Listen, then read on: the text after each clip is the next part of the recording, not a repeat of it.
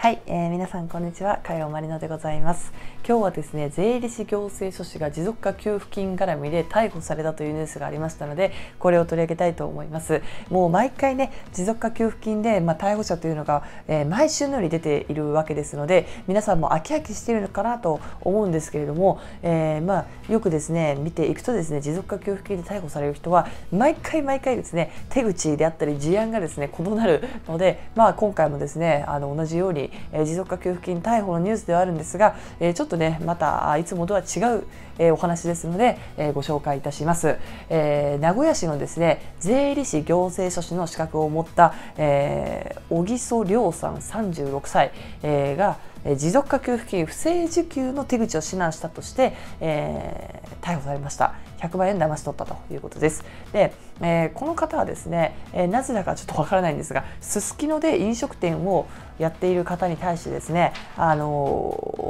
まあ、対象ではないにもかかわらずですね、え受給する、まあ、手口というのを指南した、えー、まあ、おそらく修正申告とかそういうのをさせたんだろうと思うんですが、えー、そういったことをさせたということです。で、えー、不正受給の手口を指南して逮捕されるというのは実は前回も、えありましたけど今回も、えそうです。え実際に自分がですね、え虚偽の書類というのを作ってなかったとしてもこういったことを指南するだけで、え当然逮捕もされますしあのこういったところにも、え手がが及んでいるというのは、まあ、非常にですね、えー納税している私たちからしたら、えーいいことなんじゃないかと思います。でちなみにですねこの小木曽さんですね36歳結構若いですね、えーかなりですね羽振りも良さそうな感じだったんですけれども、えー調べてみるとですねこの方、えー個人事務所もともとやっていてそれがですね、えーまあ、いろんな個人事務所がこう合併して、えー、一つの大きいですね税理士法人みたいなのがあるんですが、えーになったとでその税理士法人ね、え60名ぐらいですね。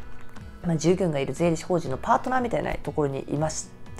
まあ、今回はですねこの人、えー、逮捕されたんですがもともと個人事業主として、えー、個人事務所として働いてた時のですね従業員にとってはまあ良かったんじゃないかなと思います、えー、大体ですねこの手の、まあ、逮捕でですね困るのはですね絶対従業員なんですよね、えー、所長が逮捕されて皆さん困ってしまうわけですよ、えー、なんですけれども今回ですねこの小木曽さんのケースではですね個人事務所がですね合併して60名規模の税理士法人を作ってそこのパートナーをやっていたみたいな話だったので、えー、まあ、小木曽さんがですねいなくなったとしてもこの従業員たちはですね、えこの税理士法人の中で、えちゃんとね働くことができるわけですから、まあ、その点はですねすごく良かったんじゃないかなと思います。であとは、まあ、おゆずさんですねこの方に関してはですね、まあ、本当にあの資格者としては相当なですね、えー、え罪が重いことをやっているわけですからこの辺りはですねしっかりと、えー、罪を償っていただきたいというところでございます。はい、えー、そんな感じで今日はですね、えー、持続化給付金逮捕のニュース、えー、今週もですね、えー、資格者逮捕ということでで非常に残念ではあるんですけれども